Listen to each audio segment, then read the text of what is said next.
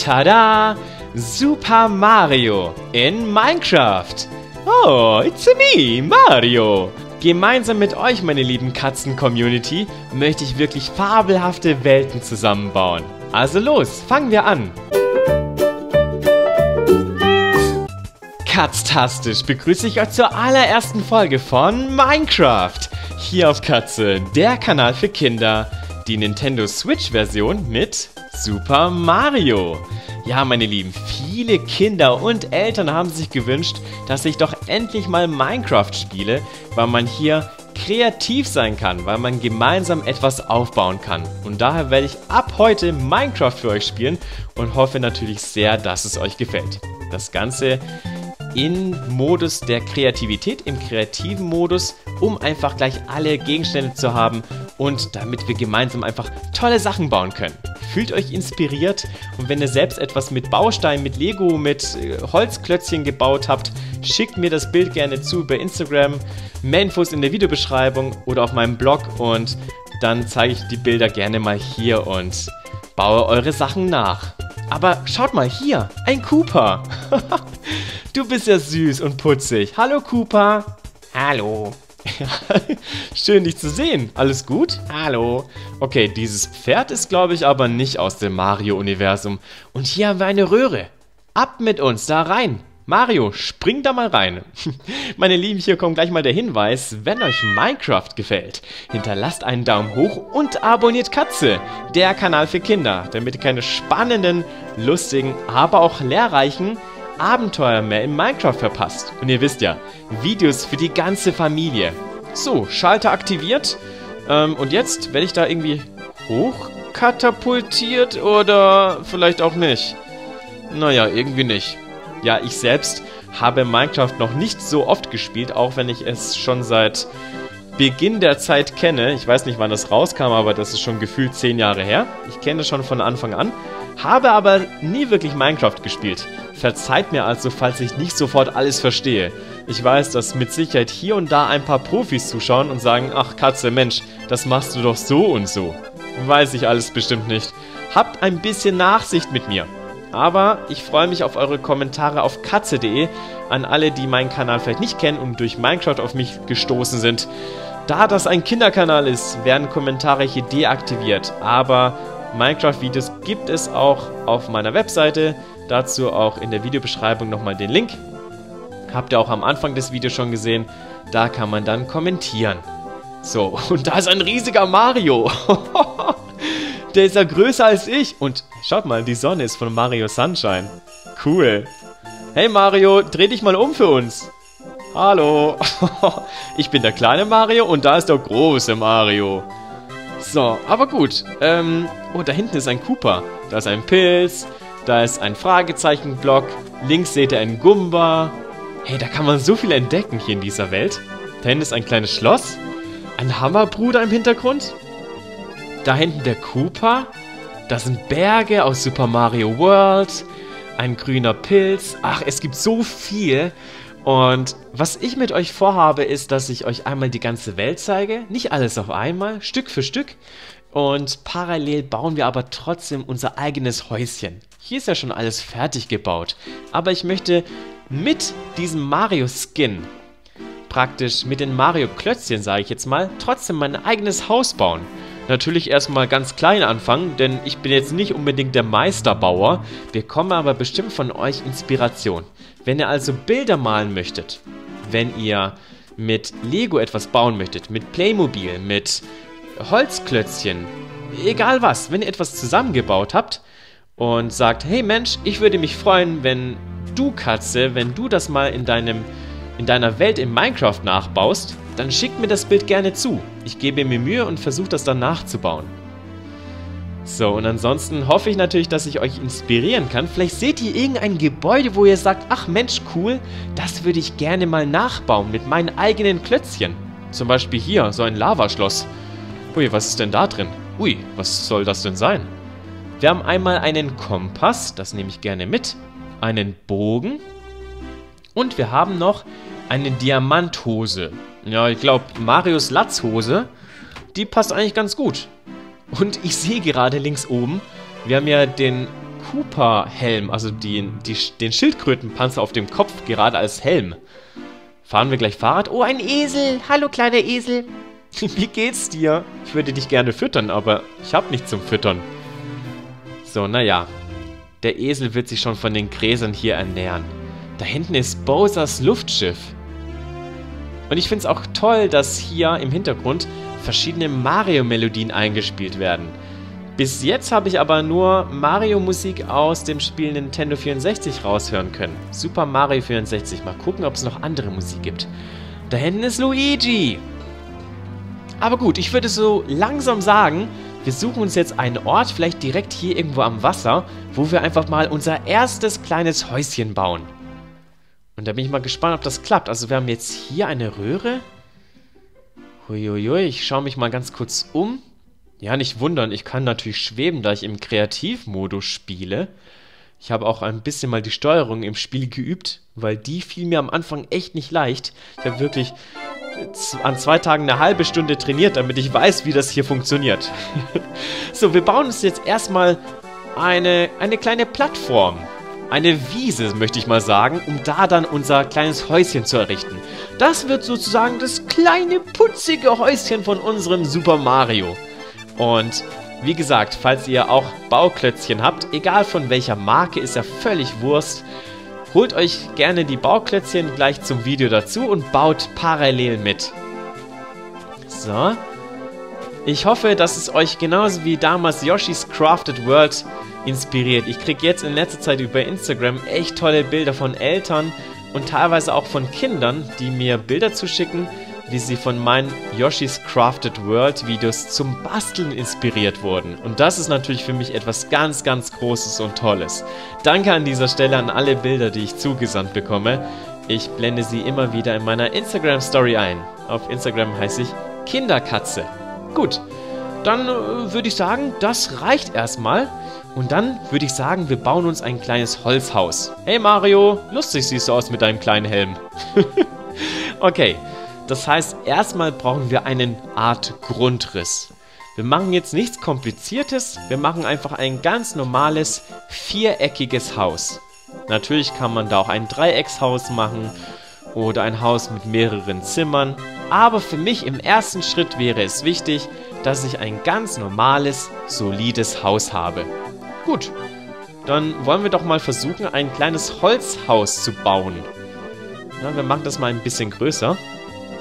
Und dann muss ich meine Wiese ein bisschen vergrößern. So, das sieht doch schon mal gut aus. Da vorne ist eine Lücke, da kommt natürlich die Tür rein, damit Mario auch da durchlaufen kann. So, wir machen hier noch alles zu. Oh nein, jetzt fängt es an zu regnen.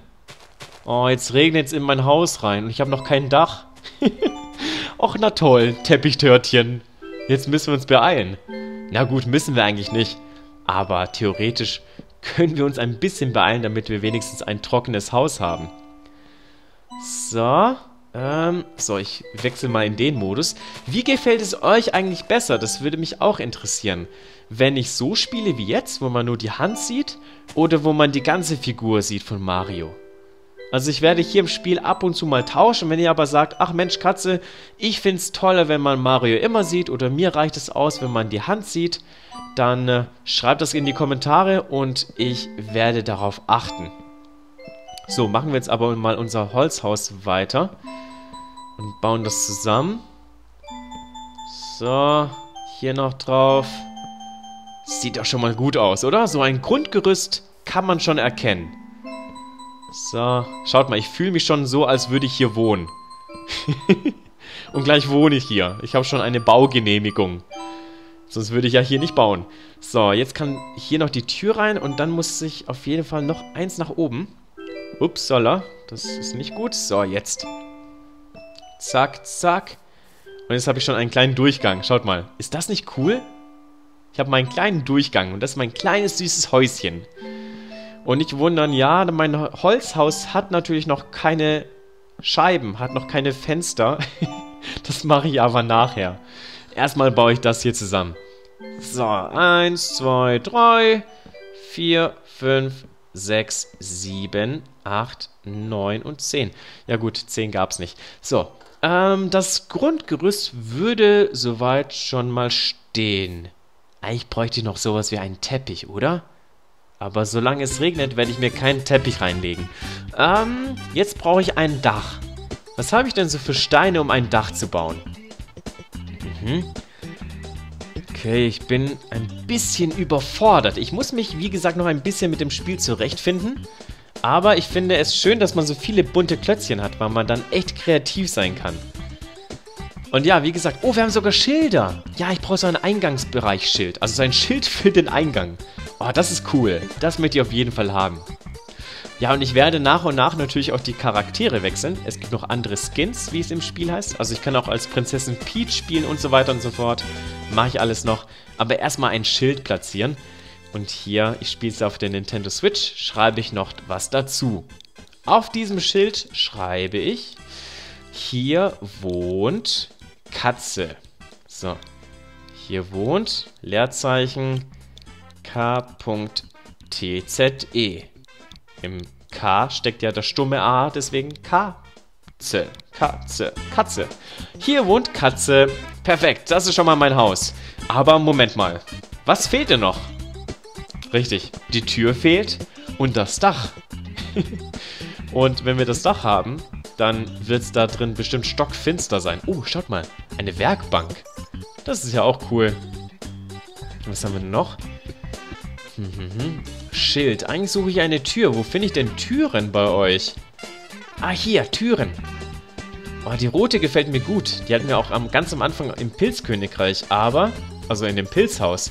Aber ich nehme eine einfache Eichentür. Die passt besser zu meinem Holzhaus. Soll ja auch optisch gut aussehen. Ach, wie cool.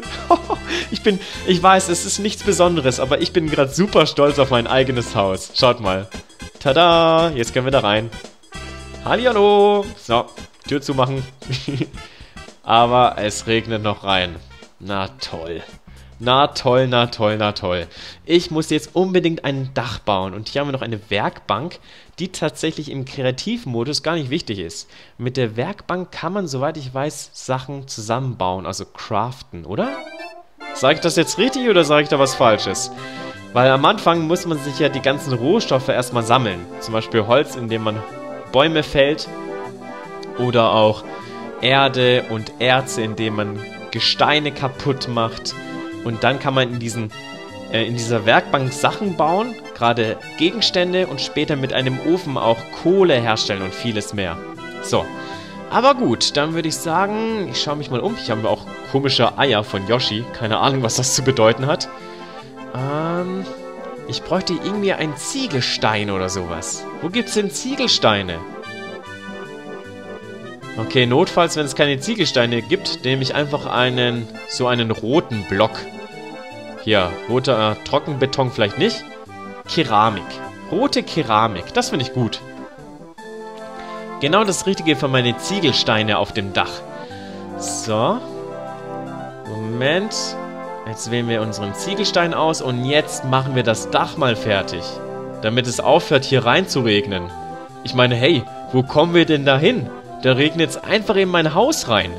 Ach, Teppichtörtchen. Das soll natürlich nicht passieren. also gut. Jetzt wird hier mal das Dach platziert. So. Da auch hier, da, zack. Das läuft ja wie am Schnürchen hier. Als würde ich nichts anderes tun, als nur Dächer bauen. Ich bin ein richtiger Dachbauer. Perfekt. So, jetzt regnet es gleich nicht mehr rein. Oh, ich stecke ich ein bisschen fest. Moment.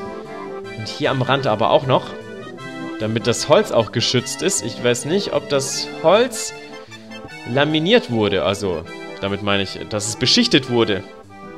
Ja, sieht äh, schön aus, aber noch etwas langweilig. Ich möchte das noch ein bisschen schöner gestalten.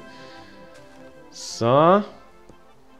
Damit wir auch ein, eine Art Vordach haben. Damit das nicht direkt Pep an der Kante aufhört. Soll ja auch ordentlich aussehen, das Dach. Und theoretisch können wir dann in, in, den, in den Berg hinein weiterarbeiten. Wisst ihr, was ich meine? Oh, eine Kuh. Muh. Hey Kuh, warte doch auf uns. ich dachte, die Kuh möchte vielleicht ähm, zu meinem Häuschen und mithelfen. Aber sie wollte nur noch mal schauen, was wir da treiben. So.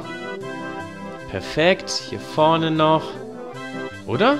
Ja doch, machen wir das hier vorne. Machen wir das so.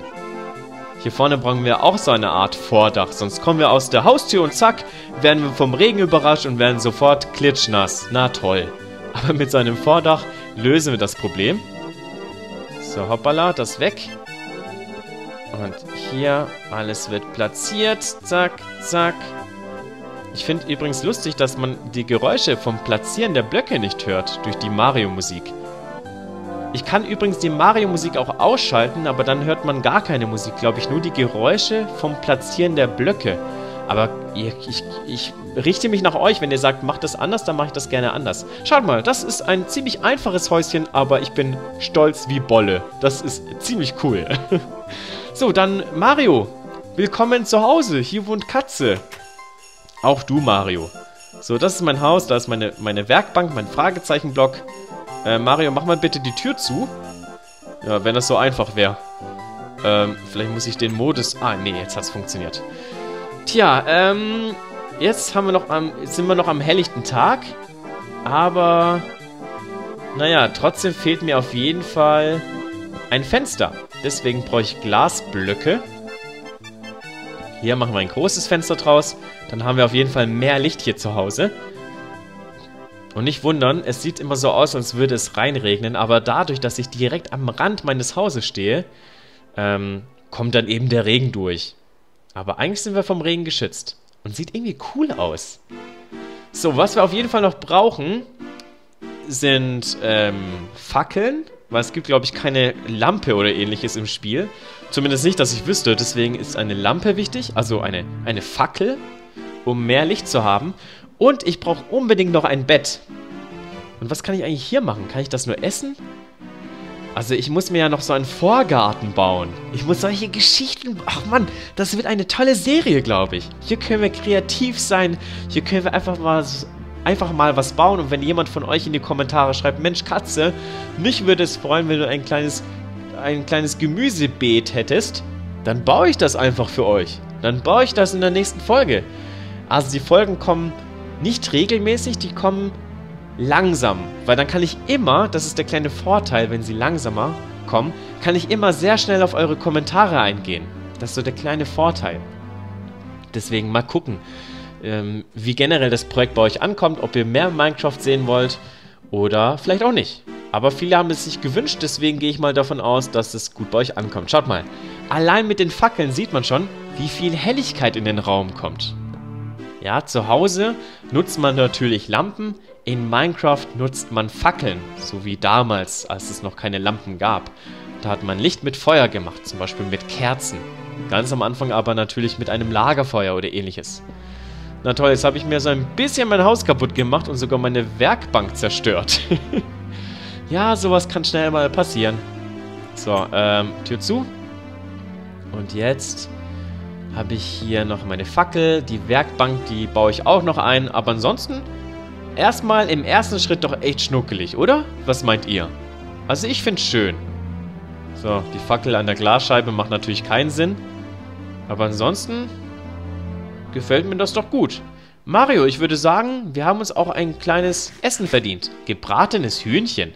Guten Appetit, Mario. Hoppsala, jetzt sehe ich nichts, jetzt aber. Lass es dir schmecken, Mario. Mmm, lecker, lecker.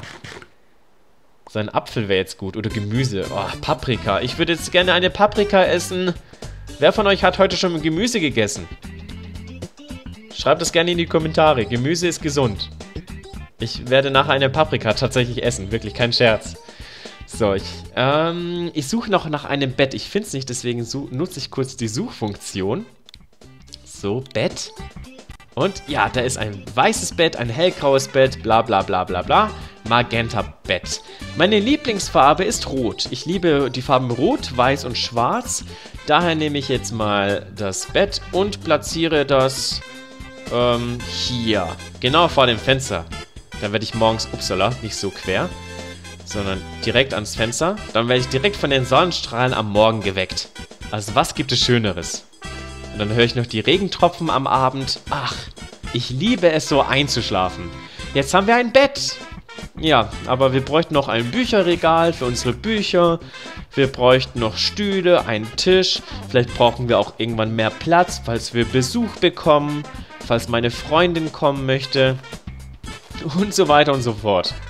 Na gut, meine Freundin wird bestimmt niemals mit mir im Multiplayer dieses Spiel hier spielen. Aber vielleicht kann ich das mal mit euch spielen. Da wurde ich auch schon gefragt auf Instagram, als ich angekündigt hatte, dass wir Minecraft spielen werden, ob wir das im Multiplayer online gegeneinander oder zusammen spielen können. Vielleicht ja. Hey Luigi, schön dich da hinten zu sehen.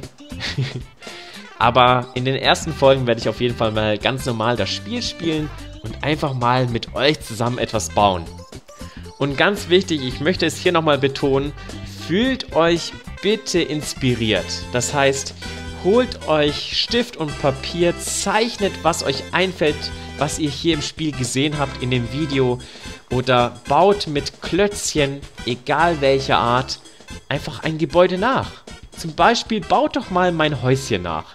Versucht doch mal mein eigenes Häuschen nachzubauen. Es ist nicht schwer, aber baut das doch mal nach und wenn ihr wollt, schickt mir das Bild gerne auf Instagram oder ähm, per Mail oder per Facebook. Also liebe Eltern, schickt mir das dann gerne zu und dann kann ich das vielleicht in den kommenden Videos mal zeigen, was ihr so gemalt oder gebaut habt. So, also mir ist es wichtig, auf dem Kinderkanal möchte ich hier nochmal betonen, dass ihr inspiriert seid, dass ihr vielleicht auch mal was bauen möchtet, was zeichnet oder vielleicht auch draußen dann, wenn, wenn der Frühling kommt, im Sommer, im Sand etwas zu bauen. Hauptsache, ihr macht was mit den Händen, baut was mit den Händen und schickt mir dann ein Bild davon gerne zu und ich zeige in Minecraft, in meinen Minecraft-Videos, was ihr so Schönes gezaubert habt. So, fördert ja auch die Motorik, muss man dazu sagen. Aber gut, ähm, ich habe gerade, während ich gesprochen habe, meinen Vorgarten erweitert, so möchte ich mal sagen. Was einen kleinen Grund hat. Ich möchte natürlich so einen kleinen Gartenzaun noch haben und eine Eiche pflanzen. Ich weiß gar nicht, wie viel Platz diese Pflanze braucht oder dieser Baum. Ich hoffe einfach, dass das bis zur nächsten Folge dann gewachsen ist. So, und jetzt brauchen wir noch einen Zaun. So, ich weiß, es ist sehr, sehr einfach gehalten. Aber irgendwie gefällt es mir. Hier wohnt Katze mit dem Schild. Und hey, da unten ist ein Blobber. Hey, Blubber. Wie geht's dir? Hallo. Schön, dass du hier bist. In Mario Kart spritzt du uns immer mit deinen Tintenflecken, mit deinen Tintenspritzern zu und dann sehen wir nichts mehr. So. Upsala. Und hier. Oh, jetzt nehme ich wahrscheinlich zu viel Platz weg für die Eiche. Ich weiß nicht, wie groß sie wird wie viel Platz sie benötigt. Und ach, Herr Jemine, Teppichtörtchen, ich mache ja jetzt alles kaputt. So, aber ich weiß nicht, wie es euch geht. Ich finde das schon ziemlich toll, wie es jetzt aktuell aussieht. Aber was fehlt denn? Was würdet ihr noch bauen? Was fehlt? Was, wo würdet ihr sagen, ach Katze, da fehlt aber was. Bau doch mal das und das noch dazu. Hm, ich bin gespannt. Aber Mario, du kannst sehr stolz sein auf dein Haus. Das sieht echt fabelhaft aus. Meine Lieben, danke fürs Zusehen. Mehr liebevolle und kindgerechte Abenteuer für die ganze Familie gibt es auf www.kinderkatze.de. Eine Seite, ein Ort mit nur kindgerechten Videos. Also dann, bleibt katztastisch!